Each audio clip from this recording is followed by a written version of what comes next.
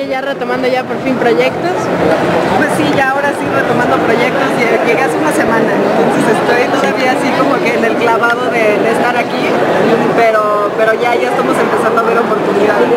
Oye, ¿qué opinas del trabajo de tu hermana que ya está en una serie web que no cualquiera lo logra, ¿no? Con Coca-Cola, ¿no?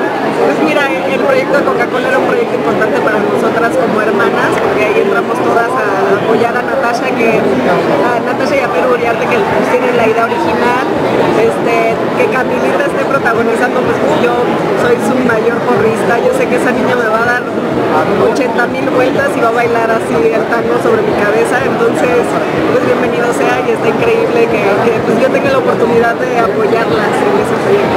Oye, pues Infames marcó todo una era en la televisión mexicana y después, ¿qué sigue para ti?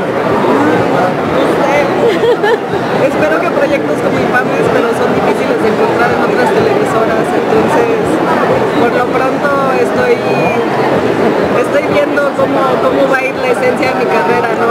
Es difícil tener tu casa al lado y querer estar en tu casa y querer ser parte de Argos y contar las historias de Argos todo el tiempo, pero los demás productores y las demás agencias no me conocen como actriz porque me ven muy atada con Argos, entonces estoy viendo qué va a pasar este año. es algo tantito, pero no me quiero salir tanto porque vienen proyectos muy muy